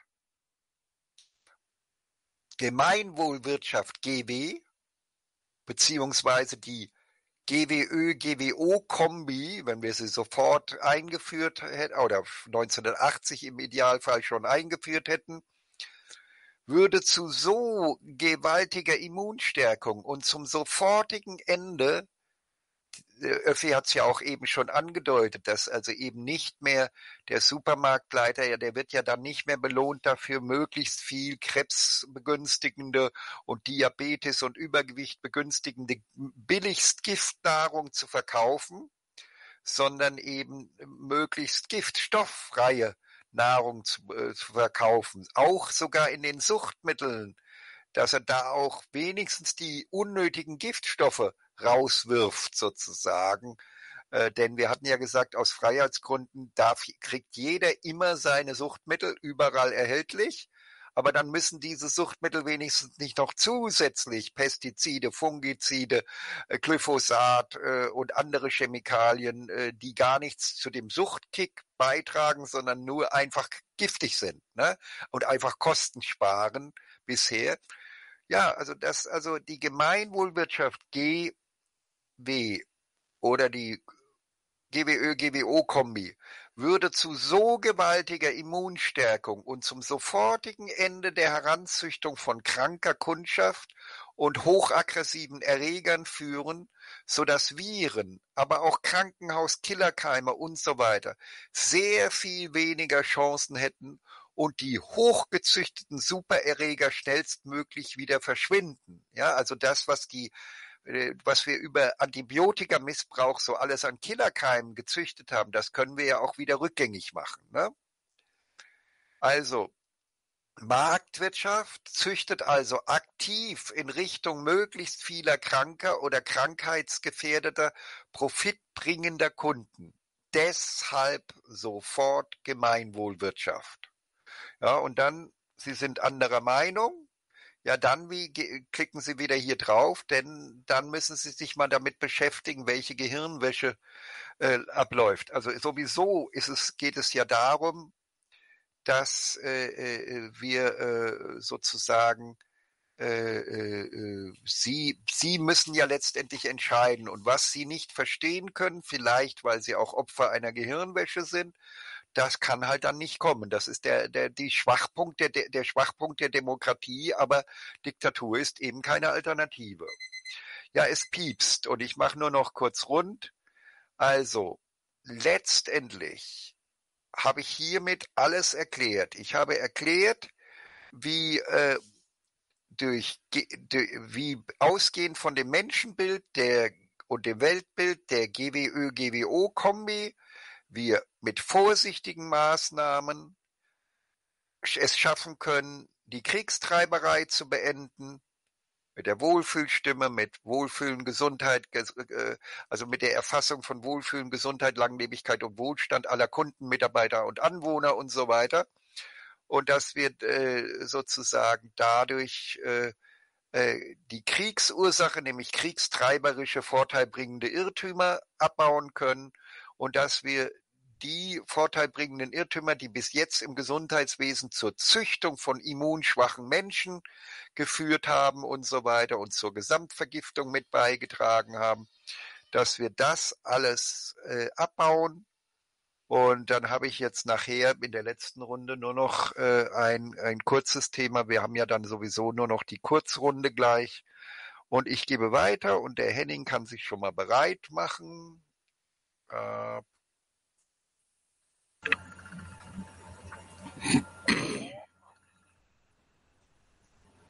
so, da ist er. In drei Sekunden bitte loslegen. Ja, danke für das Wort. Danke für die Vorredner. Ähm, ich würde ganz gerne noch mal etwas ergänzen. Und zwar, ähm, die Gesundheitsprozesse sind natürliche Prozesse. Das heißt also, Gesundheit findet ständig statt, dadurch, dass also Energie zugeführt wird dem menschlichen Körper durch sonare Kräfte. Und äh, das Einzige, was passiert, ist, dass der äh, Mensch selber, der krank geworden ist, auch sich gesund denken muss oder darf. Weil wenn er nicht gesund werden will, dann wird er auch nicht gesund. Und die Kraft der Gedanken, gesund zu werden oder etwas Gutes zu tun zum Wohle aller, ist ein wichtiger Prozess, der auch mit dazu beiträgt, dass wir auch wieder in unserer Gesellschaft gesunden. Weil solange wir durch Kaufen und Verkaufen oder durch Geschäftemacherei letztendlich den Lebenswert für minderen Geldwert verkaufen oder korrumpieren, dann bewirken wir letztendlich eine Kraft, die uns krank macht und auch zerstört bis zum Tod. Und äh, das ist ein, ein, ein ganz einfaches natürliches Kräftephänomen. Entweder es gibt ein, eine Einigung, eine Kompression, die Licht in Lebensformen zusammenbringt, oder es gibt Kräfte, die Dissonanzkräfte sind, die Lebensformen oder Organis Organismen wieder zersetzen. Und äh, diese Prozesse finden immer gleichzeitig statt oder beziehungsweise können durch die gedankliche Kraft zum Wohlsein aller bestärkt werden oder eben in der anderen Richtung ähm, passiven und aktiven Krieg bewirken. Und passiver Krieg ist letztendlich der Friedenszustand, den wir haben.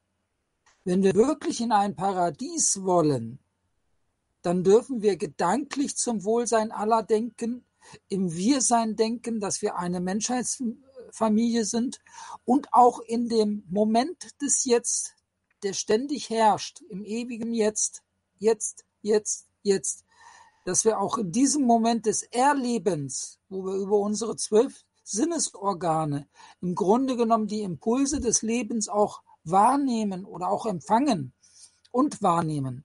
Dazu müssen wir aber umschalten von einem äh, von einer Sprachkommunikation der Schriftform in eine Sprachkommunikation der Klangform. Das heißt also in der Autarkie, in dem Bewusstwerden, dass wir wieder das Leben selber sind. Jeder Mensch für sich und wenn jeder Mensch für sich selber in der Harmonie und in der Souveränität oder in der Autarkie für sich selber leben kann, sich selber organisieren kann, mit den Mitmenschen, mit denen er zusammen ist, im Wohlsein, im Glücklichsein, im Gut zueinander sein, ohne irgendjemanden etwas wegzunehmen, dann kommen wir oder sind wir eigentlich automatisch in einem Zustand des Paradiesischen.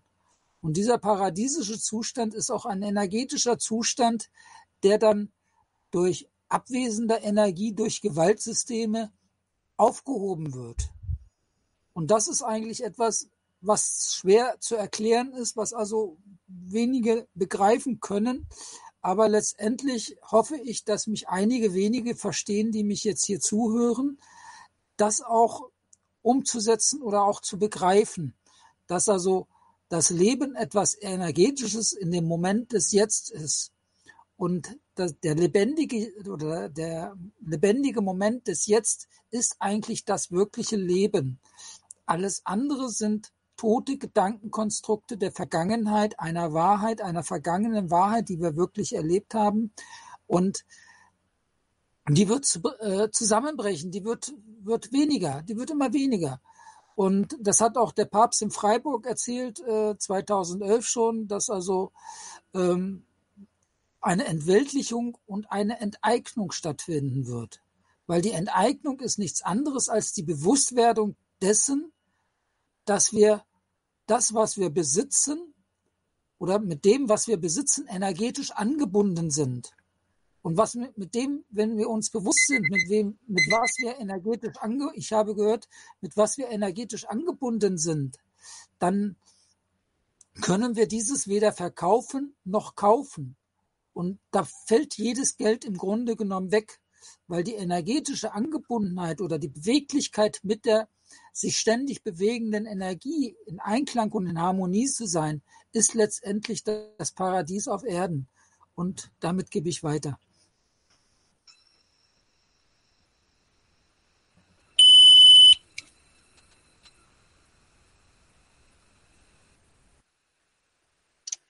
Ja, danke. Bin ich hörbar? Wir hören.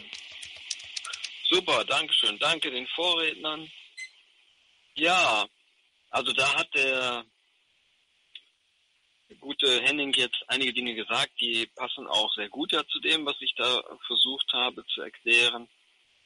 Also die, die Vorstellung auch der Menschheitsfamilie oder Artikel 1 der Menschenrechte, wo diese Menschengeschwisterlichkeit auch zum Ausdruck kommt, alle Menschen sind frei und gleich an Würde und Rechten geboren. Sie sind mit Vernunft und Gewissen begabt und sollten einander im Geist der Brüderlichkeit, kann man auch sicherlich sagen, da eben Geschwisterlichkeit, begegnen.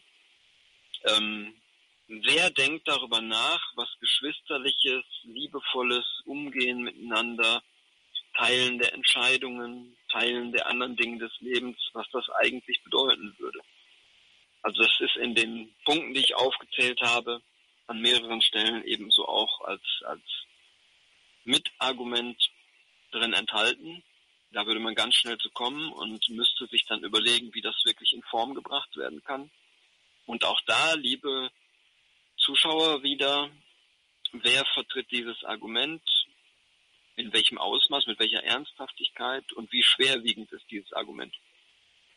Ja, natürlich könnte jetzt vielleicht ein, ein Zuschauer sagen, ja, es, wenn du da so sagst, äh, die, die Argumente werden von euch so vertreten und von anderen nicht, ne? Und ja, es wird auch äh, von kaum jemandem das Argument vertreten, eben, dass Außerirdische die Welt umkreisen, um uns zu retten. Also, äh, dass andere das nicht vertreten, heißt nicht, dass das jetzt die tollen Argumente sind. Äh, ja, deshalb sage ich ja, guckt mal erst, welche logische Stimmigkeit und Notwendigkeit, welche Wichtigkeit diese Argumente haben. Und dann gucken wir, von wem sie ernsthaft vertreten werden und das ist doch total erschreckend oder faszinierend, wenn außer uns äh, diese Dinge, die ich da auch aufgezählt habe, äh, nicht vertreten werden, nicht diskutierbar gemacht, eher weggedrängt werden. Ich habe nur noch einen Punkt, den neunten, der bezieht sich auf die 5%-Klausel bei Wahlen in Deutschland. Ist jetzt etwas, was nicht mehr so wichtig ist wie das andere, was ich genannt habe. Also Punkt eins und zwei ist ja die Frage eben auch, was ist äh, die wirkliche Freiheit und äh, Selbstbestimmung des Menschen? Dass er alles sehen können müsste und auch die Grundweichen äh, mitbestimmen können müsste. Ne? Das sind natürlich elementarste, wichtigste Sachen.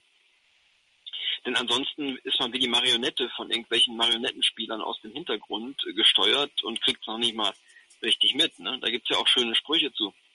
Der wirklich freie Mensch äh, der will nicht vorgegebene Fragen nur beantworten. Er will die Fragen mitstellen. Oder der wirklich freie Mensch will nicht in einem fahrenden Zug oder Schiff entscheiden, ob er nach vorne oder hinten in eine Kabine oder ein Abteil geht. Er will entscheiden, ob er in ein Schiff oder Zug mit einsteigt, in welche Richtung und sowas. Also er will die Grundweichen mit beurteilen und mitentscheiden können. Äh, wo wird das, liebe Leute, euch klar gemacht? Ne? Also die, die Herrschaftsformen sind oft das Ergebnis von Kriegen und auch nicht in Übereinstimmung mit einem Willen des Volkes. Also auch hier in Deutschland eben noch, noch 1952 eine Umfrage, dass nur zwei Prozent die Nachkriegsordnung äh, jetzt so toll für sich fanden. Ne? Oder das Wirtschaftssystem. Also auch Länder wie die Schweiz, die als sehr selbstbestimmt gelten. Ne? Es gibt, äh, gab irgendeinen, glaube, amerikanischen Präsidenten, der hat gesagt, wenn allein die Wirksamkeit des Geldsystems den Menschen mal klar würde, hätten wir morgen eine Revolution oder vor, vor Anbruch des Tages. Ähm, das heißt also, diese Freiheit, dass der Mensch die Dinge alle durchschauen kann und auch die Grundweichen mitentscheiden kann, das wird euch von allen Seiten vorenthalten. Da ist der große Nebelwurf in der Welt. Ne? Wir wollen das lichten. Wir wollen diese Bühne der Klarheit und der Entscheidbarkeit schaffen. Äh, wie wichtig ist euch das und wer setzt sich dafür ein? Stellt euch wirklich die Fragen, liebe Zuschauer. Ich komme zu Punkt 9 bezüglich der 5%-Klausel bei Wahlen in Deutschland. Ähm, ein Gedanke, den auch der Dillen oft vertritt. Ähm, könnte man es nicht so machen, dass die Übertragbarkeit von Wahlstimmen, die für Parteien gegeben wurden, die dann unter 5% bleiben, dass diese Übertragbarkeit ermöglicht wird an bei der Stimmabgabe angebbare Ersatzparteien, sodass solche demokratische Stimmen nicht unter den Tisch fallen gelassen würden und so dass man die Anfangsentwicklung neuer Parteien auch erleichtert.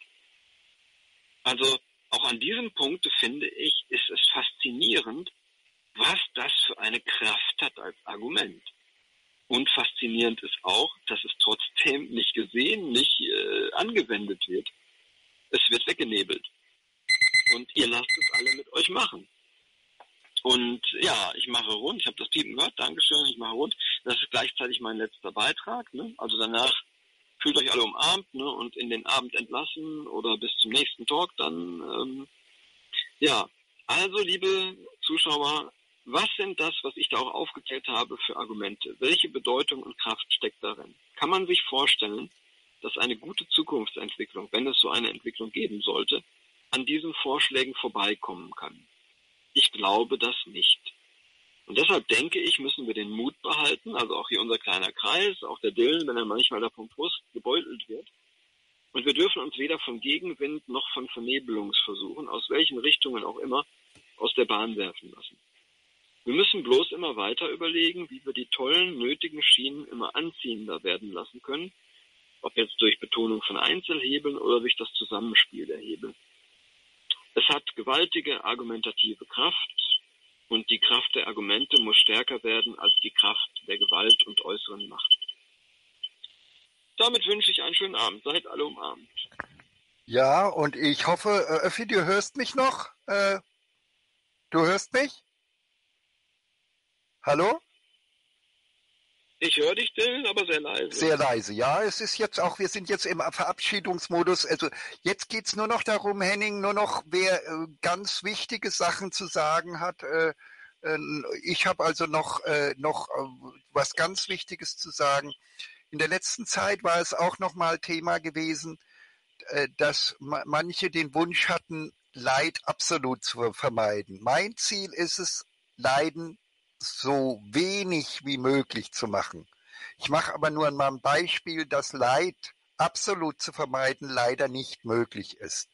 Denken wir dran, eine Schildkröte legt hunderte von Eiern und jetzt würde jemand Verrücktes jedes Baby, das aus diesen Eiern schlüpft, verfolgen und schützen vor all den Fressfeinden, die normalerweise 99 Prozent all dieser äh, Schildkrötenbabys fressen und töten. Und jetzt würde man denen hinterher schwimmen und würde sie jedes Mal retten vor den Fressfeinden dann würde daraus nur riesiges anderes Leid entstehen, weil die Schildkröten würden alles im, im, äh, die wären dann so viele Schildkröten, dass sie alles im Meer kaputt fressen würden und alles überall würde Leiden entstehen, weil diese Schildkröten jetzt nicht, äh, äh, weil nicht zugelassen wurde, dass diese als Kinder sterben. Ja? Und bei uns Menschen ist es leider nicht anders. Also wir, auch bei uns ist es so, wenn ich alle Kinder, wenn ich die Abtreibung, die, die, die, die Frauenemanzipationsbewegung und die Abtreibung und so weiter alles verbiete und, und, äh, und, und das Naturrecht verbiete, dass Frauen alleine über das Leben oder Sterben ihrer Kinder entscheiden und so weiter, äh, wenn ich das nicht zulasse, dann habe ich dieselbe Situation wie mit der Schildkröte. Ich rette quasi dann alles und erzeuge damit riesiges Leiden am anderen Ende. Und erzeuge zum Beispiel äh, am Ende zum Beispiel militärisch geschwächte Staaten, die dann wie die Ukraine abgeschlachtet werden auf das Grausamste, weil sie eben keinen Hightech-Raketenabwehrriegel haben und aufbauen konnten und äh, weil sie eben äh, sozusagen äh, mit, mit falscher Bevölkerungspolitik auch sich geschwächt haben und, und, und, und so weiter. Also was ich damit äh, abschließend für heute für mich äh, sagen wollte, ist leider denen gesagt, die also das äh, unbedingt alles Leiden vermeiden wollten. Ich will Leiden so selten und so klein wie möglich machen, aber ganz vermeiden geht nicht weil, äh, wie gesagt, äh, sozusagen, ich muss immer gucken, wenn ich ein Leid vermeide, wie viel neues Leid produziere ich als Folgeerscheinung damit. Und wenn ich das nicht tue, dann geht das immer schief. Ja, hat noch jemand irgendeine ganz, ganz wichtige Bemerkung irgendwie? Oder können wir Tschüss sagen für heute? Ja, ich würde ich würde dem ganz kurz nur anschließen, dass er so feststellen, dass wir eigentlich alle in der Mittäterschaft am Leben minimierenden Prozessen sind, dass wir eigentlich Täter und Opfer zugleich sind und dass nur das Opfer in der Lage ist, diese Täterschaft oder Täteropferschaft äh, zu beenden durch Erkenntnis, durch Selbsterkenntnis, dass wir Forderungen oder Gewalt je, egal in welcher Form, einfach ablehnen und uns wieder auf die wirksamen Schöpfergesetze konzentrieren und achten, dass wir in die Harmonie, in die Bedingungslosigkeit und auch in die Achtsamkeit gehen, eben das Leben so genießen, wie es kommt und wie es ist, weil dann findet automatisch Heilung statt und auch Heilung in dem Sinne, dass wir gesund werden, in dem Sinne, dass wir mehr bewusst werden und in dem Sinne, dass wir zum Wohl aller denken. Und wenn wir zum Wohle aller denken und nicht mehr nur noch an irgendwelchen Bedingungen uns festhalten, dann gehen wir auf den richtigen Weg und ähm, die Natur, also die sonare Kraft, die größte Kraft auf dieser Erde, die überhaupt wirkt, ist mit uns. Und daran dürfen wir denken. Und dafür möchte ich dem Öffi auch sagen, er kann an das Gute glauben und hoffen, weil der Gedanke, der gute Glaube ist letztendlich das, was, was, was wird und was wir in die Zukunft bringen. Und damit möchte ich mich auch verabschieden. Hat noch jemand irgendwas ganz Wichtiges oder können wir alle Tschüssi rufen? Ich sage dann Tschüss. Tschüss an alle. Tschüssi, tschüssi, tschüssi.